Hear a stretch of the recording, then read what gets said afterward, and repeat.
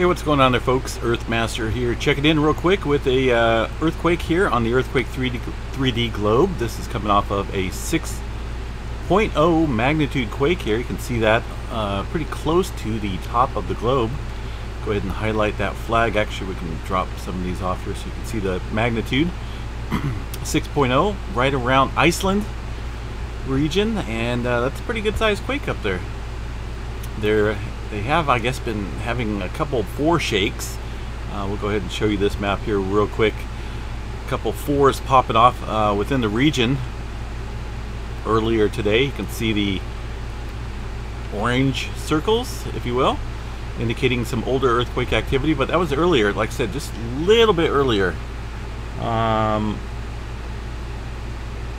by a couple hours, and then it looks like maybe two of those were from yesterday, but this 6.0 striking uh, north of this region, north of Iceland, but uh, well within the vicinity. And I'm not even going to pronounce, attempt to pronounce that name. If you guys know that name, please feel free to say it out loud because that is just an amazing name right there. I'm just going to say.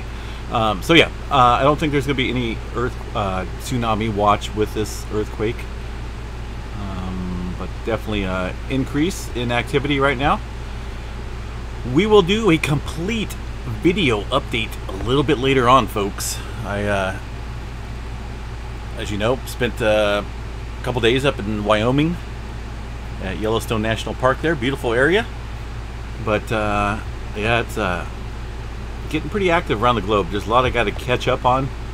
And, uh, like I said, I'll have all the information and uh, all the info a little bit later on this evening, folks. So please stay safe out there. It's definitely uh, rocking and rolling out there globally. We'll chat you guys a little bit later tonight.